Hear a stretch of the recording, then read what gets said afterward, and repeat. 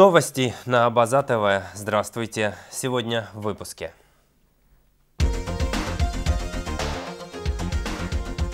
Вышли на финишную прямую. Высокую оценку работе над соглашением по взаимодействию в области обороны дал Рашид Нургалеев. Взаимодействие по всем направлениям. Генпрокуратура, Минздрав, Минкульт подписали с Россией соглашение о сотрудничестве. Правительство страны приняло изменения в бюджет уходящего года. Президент охарактеризовал работу министров. Уже в ближайшие дни на ратификацию в парламент Абхазии и в Государственную Думу России поступят соглашения по взаимодействию в области обороны и безопасности двух стран. Документы проработаны и подготовлены на высоком уровне Министерством обороны Абхазии, Службой государственной безопасности и МВД. Об этом заявил заместитель секретаря Совета безопасности России Рашид Нургалиев на встрече с президентом Раулем Хаджимба. Уровень подготовки документов отработан, высокий уровень готовности. И, на мой взгляд, это большая работа, которая была проделана Советом Безопасности Республики. И, на мой взгляд, те вопросы, которые были в прошлой поездке, они сегодня все устранены. Мне кажется, что в ближайшее время уже будет соответствующая ратификация данных секторальных наших соглашений. Поездкой очень доволен, обстановкой которая сейчас сложилась. Те процессы, которые происходят в мире, нас побуждают к тому, чтобы отношения России развивались бы и были бы полезными для обоих сторон. На сегодняшний день многое из того, что мы предполагали сделать, практически реализовано. Вы сами видели документы, которые есть на сегодняшний день, говорят о том, что идет активная работа в этом направлении. Я очень верю в то, что многие из тех документов, которые будут представлены нашему парламенту, будут ратифицированы. Мы пройдем этот этап нашего сотрудничества и я надеюсь на то, что эффективность дальнейшей работы будет еще более высокой. По окончании встречи секретарь Совбеза Абхазии Мухаммед Килба рассказал журналистам в деталях о пунктах двусторонних соглашений в области безопасности и работе над ними. При этом он отметил, что все макеты документов составлялись абхазской стороной. Мы находимся на финишной прямой.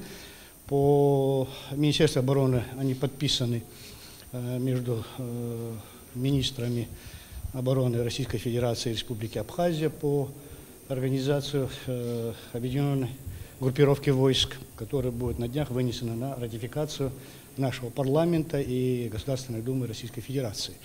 Э, туда далее по Министерству обороны еще предусматривается, они тоже находятся в степени наивысшей говорится, готовности по финансированию и модернизации наших вооруженных сил.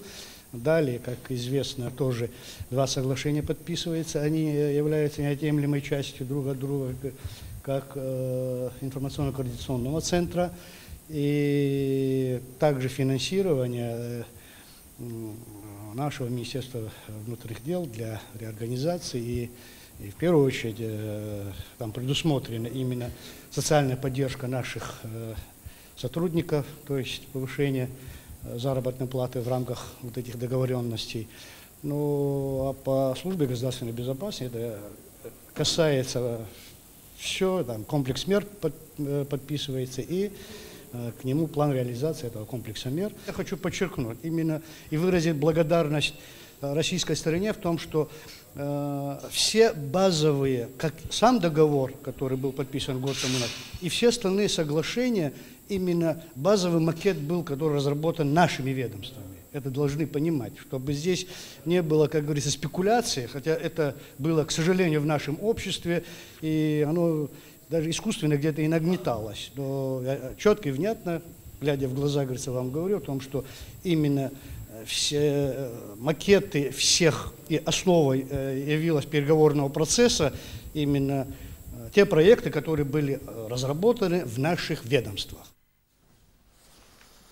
Программа сотрудничества на 2016-2018 годы между генеральными прокуратурами Абхазии и России подписана руководителями ведомств Алексеем Ломе и Юрием Чайко в Москве. Документ предусматривает проведение совместных семинаров, круглых столов в столицах двух стран по вопросам сотрудничества в сфере оказания правовой помощи по уголовным делам, выдачи лиц, скрывшихся от уголовного преследования или исполнения приговора, организации прокурорского надзора за исполнением законодательства в сфере экономики, за расследование расследованием коррупционных уголовных дел и по ряду других направлений прокурорской деятельности. Кроме того, представители надзорных органов будут обмениваться информацией по основным направлениям деятельности, а также по приоритетам государственной политики, в выработке и реализации которых они участвуют, сообщает пресс-служба Генпрокуратуры Абхазии. А вот подписанный в мае этого года генеральным прокурором Абхазии и министром юстиции России двусторонний договор о передаче для отбывания наказания лиц, осужденных к лишению свободы, начал работать. Как сообщает пресс-служба Генпрокуратуры, Россия для дальнейшего отбывания наказания передала в Республику Абхазия Константина Смыр. 26 апреля 2012 года он был осужден Адлерским районным судом к 11 годам лишения свободы по пяти эпизодам контрабанды и незаконного оборота огнестрельного оружия с отбыванием отбытием наказания в исправительной колонии строгого режима. Оставшийся срок СМЭР будет отбывать в СИЗО МВД Республики в соответствии с законодательством нашей страны. В настоящее время на рассмотрении компетентных органов Абхазии и Российской Федерации находятся более 30 обращений, как самих осужденных в России, так и их родственников, о переводе для дальнейшего отбывания наказания на родину. Соглашение о сотрудничестве подписано и в сфере культуры. На международном форуме в Петербурге документы скрепили подписями министр культуры России Владимир Мединский и его коллега из Абхазии Эльвира Арсалия. Это план сотрудничества между Минкультом России, Министерством культуры и охраны историко-культурного наследия нашей страны на 2016 год. Четвертый международный форум в Петербурге начал свою работу 14 декабря. Участие в нем принимают около 9 тысяч человек. Теперь медики из Абхазии смогут проходить стажировку и повышать квалификацию в одном из ведущих медицинских учреждений России – Северо-Западном федеральном медицинском исследовательском центре имени Алмазова в Санкт-Петербурге. А наши пациенты лечатся на базе этого института. Это стало возможным благодаря соглашению о сотрудничестве между Питерским многопрофильным центром Алмазова и Министерством здравоохранения России. Подписи под документом поставили министр здравоохранения Андзоргов и директор института, президент Ассоциации Ассоциации кардиологов России Евгений Шляхто. На церемонии присутствовал и помощник министра здравоохранения России Анатолий Гулин. Как отмечалось, соглашение открывает перед абхазской медициной новые возможности, в частности, в развитии собственной академической школы медицины. В рамках подписанного соглашения жители Абхазии действительно получат возможность э, иметь сегодня самую современную медицину. Это касается и взрослых, и детей, и э, женщин, которые планируют иметь детей. Это тоже очень важно сегодня, поскольку в нашем центре есть многопрофильное учреждение, где мы стараемся оказывать помощь на уровне самых современных научных достижений. Я думаю, что сегодня есть все возможности у жителей Абхазии, и мы надеемся, что и а, медицинское сообщество Абхазии будет вовлечено не только процесс оказания помощи, но я думаю, что процесс научных исследований, поскольку здесь есть и в этом плане большие возможности. Наука, клиника и образование – это три направления, которые э, должны быть основой для улучшения качества и доступности медицинской помощи. Помимо того, что врачи могут повышать свою квалификацию, и наши пациенты ездят, ездить и получать достойную значит, медицинские консультации и лечение. Помимо этого, нас действительно очень интересует именно научно-практический компонент, который это лечебное учреждение может нам предоставить. И мы сделаем и приложим все усилия э, для того, чтобы добиться в этом действительно очень хороших, достойных результатов, мировых результатов, благодаря сотрудничеству с такими уважаемыми организациями. Позже состоялась встреча президента Абхазии Рауля Хаджимба с помощником министра здравоохранения России Анатолием Гулиным и генеральным директором Северо-Западного федерального медицинского исследовательского центра имени Алмазова Евгением Шляхто. Рауль Хаджимба отметил, что подписанное соглашение – это еще один важный шаг в развитии сотрудничества наших стран в сфере здравоохранения. Мы сегодня очень большое количество финансовых средств затрачиваем на то, чтобы наши люди лечились бы тех или иных медицинских учреждениях, будь в России, будь за пределами России. Но хотелось бы, чтобы такого рода специалисты, работающие в России, были бы и у нас. Вот именно это сотрудничество позволит, наверное, решать эти задачи и вопросы, связанные и с санаторными темами, и вопросы организации работы таких центров у нас позволит еще более четче работать и Министерству здравоохранения, выстраивать нужные отношения и важные для нас очень отношения с Российской Федерацией. Мы готовы ко многим этим вопросам. С нашей стороны только будет, как говорится, готовность идти навстречу. В 2016 году правительство Абхазии продолжит работу по оптимизации своих штатов. Кроме того, в ведомстве не исключены кадровые перестановки. Об этом заявил президент Рауль Хаджимба, принявший участие во внеочередном заседании Кабмина, в ходе которого также были внесены поправки в республиканский закон о бюджете на 2015 год. Члены правительства утвердили целевые программы «Здоровье-2016» и «Всеобщая диспансеризация населения 2016-2017». Все подробности у Иланы Казанба. Подводя итоги работы правительства за уходящий год, президент подчеркнул, что в основном со своими обязанностями Кабмин справляется. В целом, я думаю, что Кабинет министров со своими подразделениями сделал немалую работу за этот год.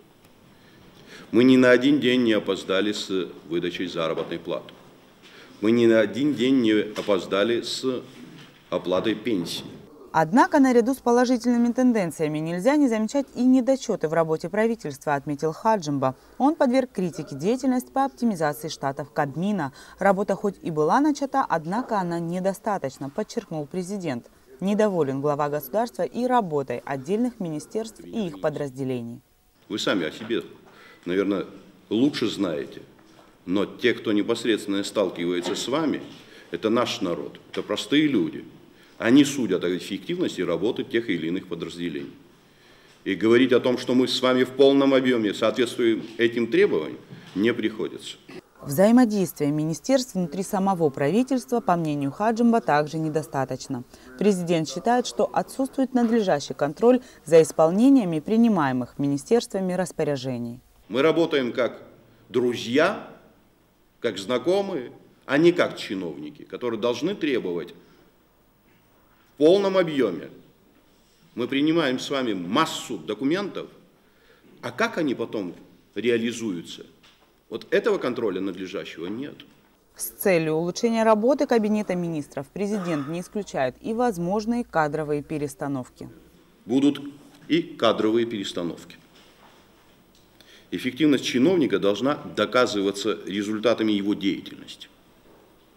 И никто не должен засиживаться в тех или иных должностях. И сам премьер должен поставить работу на более высокий уровень, касающийся отчетности, деятельности любого руководителя Кабинета министров – Далее совещание министры продолжили в обычном режиме. О внесении изменений в бюджет 2015 года рассказала министр финансов Амра Кларанзе. Подобные меры связаны с тем, что обещанная финансовая помощь из Российской Федерации была сокращена в несколько раз и составила 450 миллионов рублей на 2015 год. Значит, доходы республиканского бюджета которые предусмотрены действующим законом, составляют 10 миллиардов 115 миллионов рублей. Законопроектом мы предлагаем снизить э, величину доходов до уровня 5 миллиардов 189 э, миллионов рублей. Изменения будут составлять 4 миллиарда 926 миллионов рублей. В расходной части Действующим законом определено 10 миллиардов 356 миллионов рублей. Законопроектом предлагаем сократить расходы на 5 миллиардов, до 5 миллиардов 420 миллионов рублей. Сокращение составит 4 миллиарда 936 миллионов рублей. Вместе с тем министр отметила и положительную тенденцию в росте доходной части собственного бюджета. Идет увеличение на 28,8 миллионов рублей. Это увеличение связано с тем, что у нас ввелась вывозная таможенная пошлина по ореху лесному. Мы предусматриваем увеличение на 25 миллионов рублей. Кроме того, доходы от, э, предусматриваем доходы от перечисления части прибыли. Такие доходы ну, в доходной части бюджета еще не фиксировались, они первый раз фиксируются. Это доходы, которые мы получили от прибыли Национального банка и группов. Э, общая сумма 14 миллионов, миллионов 604 тысячи рублей.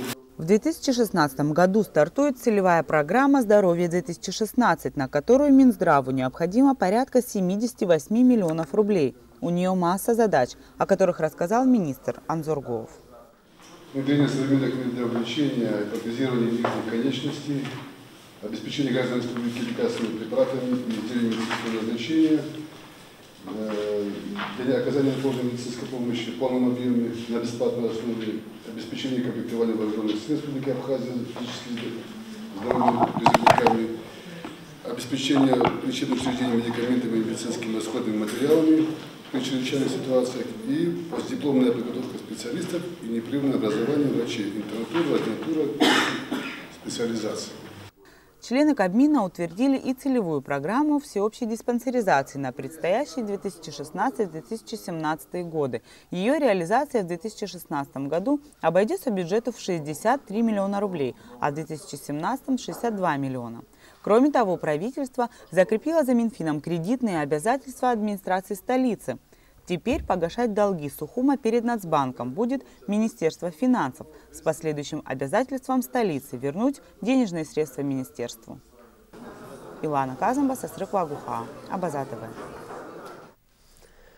В среду столица республики примет участников международного форума «Стратегия развития Абхазии в контексте евразийских интеграционных процессов». Его организует Кабинет министров и Центр стратегических исследований при президенте. В ходе пленарного заседания будут зачитаны доклады на темы «Абхазия в стратегическом дискурсе», «Абхазско-российское экономическое партнерство. Состояние и перспективы», а также состоится презентация стратегии социально-экономического развития Республики Абхазия до 2025 года. Премьер-министр Артур Микваби провел встречу с представителями Росстата. В будущем году в стране планируется проведение переписи сельскохозяйственных земель, поделиться своим опытом работы, рассказать коллегам о новых облегченных способах проведения различных переписей приехали специалисты из России. Прописаны конкретные мероприятия. Это совершенствование сотрудничества по направлению развития системы национальных счетов, как в качестве макроэкономической модели описывающий э, макроэкономические, позволяющий разрабатывать макроэкономические показатели, с помощью которых мы э, определяем исходные точки и свое местоположение э, в мировой экономике. И, собственно, развитие отраслевых статистик, проведение крупных статистических мероприятий, сельскохозяйственных переписи, экономической переписи и переписи всем известной населения. По этим направлениям мы также проводим свою работу. Как рассказала начальник управления государственной статистики Абхазии Кама Гоги, помощь квалифицированных статистов из России поможет абхазским специалистам расширить базу показателей и улучшить их качество. Это поможет облегчить работу нашим управленцам, отметила Кама Гоги. Перепись у нас будет сельскохозяйственная. Ну, это такая полномасштабная, полномасштабное мероприятие, и в ближайшем будущем мы приступим к сельхозпереписи. Помогать нам будут наши товарищи из Москвы, э, методологии и вообще всеми вопросами, которые у нас возникнут. К другим темам. Новобранцы российской военной базы в Абхазии учатся стрелять из танков в Краснодарском крае. Как сообщает сайт Южного военного округа, на полигоне Молькина начались первые практические огневые тренировки с молодым пополнением танковых подразделений. Молодое пополнение в составе 20 экипажей выполнят упражнения учебных стрельб из танков Т-90А сходу по появляющимся и движущимся мишеням, в том числе по воздушным целям из крупнокалиберных пулеметов «Корд». Все молодые танкисты до выполнения выполнения упражнений учебных стрельб отработали задачи на специальных компьютерных тренажерных комплексах, оборудованных точными копиями рабочих мест механиков-водителей, наводчиков-операторов и командиров танков Т-90А. К новостям культуры. В ближайшую пятницу московская абхазская диаспора проведет памятный вечер, посвященный столетию со дня рождения писателя Константина Михайловича Симонова. Этот человек принимал активное участие в общественной и культурной жизни республики. Его деятельность отражена в книге «Симонов в Абхазии», вышедшей в свое время в Сухуме. В музее Серебряного века в российской столице соберутся известные писатели, литераторы, люди, близкие Симонову. В программе вечера прозвучат отрывки из произведений писателя, будет представлена фотоэкспозиция с ранее неизвестными фотографиями из личного архива Чичхалия. Прозвучит песенные, прозвучат песенные произведения в исполнении солистки геликон-оперы народной артистки Абхазии, заслуженной артистки России Алисы Гицба. Заслуженный работник культуры России, академик Российской академии циркового искусства Борис Артемьев впервые в Абхазии представит свой спектакль. Фокусники, жонглеры, гимнасты и очаровательная собачка по кличке Жужа, а также Дед Мороз и Снегурочка – все эти персонажи приглашают детей на новогоднее приключение Фунтика с интерактивной игрой с элементами цирковых номеров со спецэффектами. 29 декабря, а также 2 и 3 января представление состоится в Абхаз Госфилармонии – а 27 и 28 декабря в Гулрэпше. Организаторы обещают, что спектакль никого не оставит равнодушным. О спорте. Воспитанник Сухумской школы дзюдо Роян Изугбая занял третье место в отборочном первенстве Вооруженных сил России по дзюдо среди юношей и девушек 1999-2001 годов рождения. Соревнования проходили в Самаре. Участие в них принимали 215 сильнейших спортсменов из 25 республик и областей России. Теперь нашему спортсмену предстоит участие в первенстве России, которое пройдет в феврале 2016 в Новосибирске. В завершении выпуска информация от синоптиков.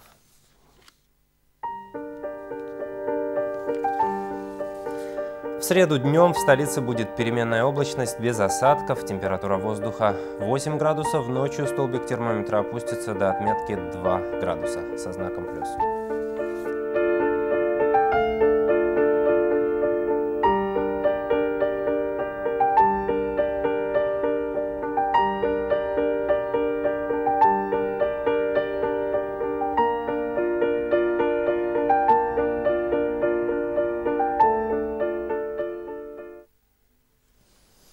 На этом пока все. Напоминаю, подробно с новостями дня можно ознакомиться и на нашем сайте в интернете. Его адрес abaza.tv. Всего доброго, до встречи в эфире.